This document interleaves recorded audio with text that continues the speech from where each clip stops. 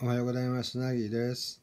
えー、今週1週間はドタバタと大変なことがあってと、とても大変な1週間でしたけど、ね、それぞれがだんだんと乗り越えられそうで、えー、ちょっと良くなりましたね。まあ、一番最初には下半身のチンコがめっちゃ激腫れしてがんなったんじゃないかと慌てるとこにバイクが盗まれて病院に行けなくなってとでまあバイクも出てきましたしチンチンコの方も抗生物質でちょっと腫れが引いてきましたのでがんじゃなかったということは、まあ、多分ということで、まだちゃんとお医者さんに限定に言うてもらったわけじゃないんですけどねまあ、まあ、バイクも出てきたもよかったしで今週の木曜日明日ですねほんまは神戸の駅前のとこまで、えー、薬もらいに行かなあかんねんけど台風受けそうなんで来週に変えてもらってちょっとそれも安心ですね。まあ、そんなこと一つ一つをこう動きながら乗り越えていくというね、まあ、そういう動きをしながらちょっと心が落ち着いてきた気分です。まあいろいろなことがあっても一つ一つ粘り強く対処していったらなんとかなんとか回るみたいなのあるんですね。そういうことで、えー、日々を過ごしていきたいと思いますので、えー、サイランのハッピーエンドを歌いたいと思います。知ってるかな？ハッピーエンド。そうそう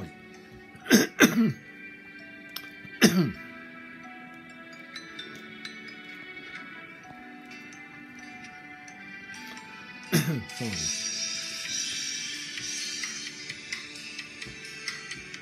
海町の風に揺れながら君は振り返り僕に微笑みをいつまでも幼い二人が長い道のりをかけてきたね。時は流れ互いのいいところ。ダメすぎるところ。知り抜いて旅の途中で羅針盤君に預けたら船は何度も荒海越えて夢と希望を五線に飽き込んだら土砂降りの雨降る。嵐の後で昇る朝日がボサノバを歌っていた。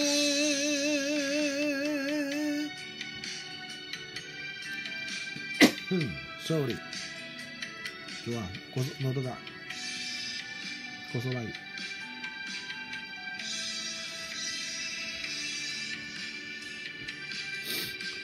言葉よりそばにいてほしい。眠れない僕の手を握りしめて。やむ時も笑顔見せてくれ。僕よりも長く生きる君よ。出会った日は入れたての恋振られた同士にはほろ苦く旅の終わりがハッピーエンドならいいのに君の顔色伺いながら決して一人で生きてこれたわけじゃない願うことしかない人生だけど生かす仲間がうならかいラブ 今日は調子悪い。Sorry. この歌は出たな。あ、でも最後ハッピーエンドにならないな。ね。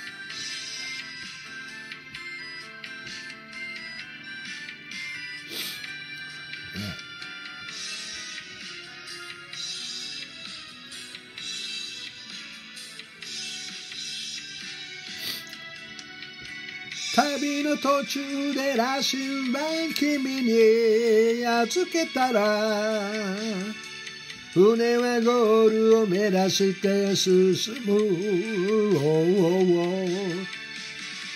夢と希望五線譜に書き込んだら新しい二人の旅立ちの日に燃える太陽がロックンロール踊っている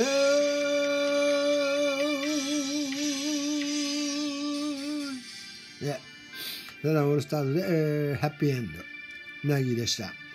ぜひまだ登録、友達登録してない方はチャンネル登録を押して、チャンネル登録してね。